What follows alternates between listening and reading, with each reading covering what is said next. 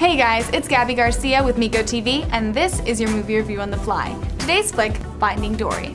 After 13 years of waiting for what came next for our favorite sea creatures, Pixar finally answered our prayers with a new adventure. The story takes place about a year after the first movie, with Marlin being a bit less of a helicopter parent to Nemo and more of a good friend to Dory. The adventure begins once Dory spontaneously remembers she has a family and sets out on a search to find her parents she got separated from as a child. In her widely anticipated return to the movies, Dory's forgetfulness plays a bigger role than it did in the first movie instead of just providing comedic relief. As Pixar's known for, the audience is of course given some emotional moments to handle as Dory runs into certain obstacles that trigger some childhood memories. We are also treated with quirky new characters and a brilliant voice cast behind them.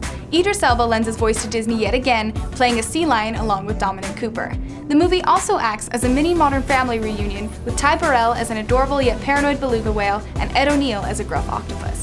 Dory's parents are also brought to life by Diane Keaton and Eugene Levy, and of course, Ellen DeGeneres returns as Dory with Albert Brooks as Marlin.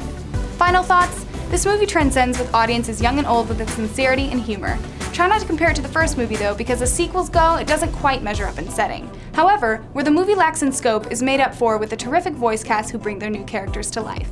Go watch this movie with your kids, friends, parents, lizard, whatever. You'll have an amazing time. I'm Gabby Garcia, and this has been your movie review on the fly. Thanks for watching Meeko TV.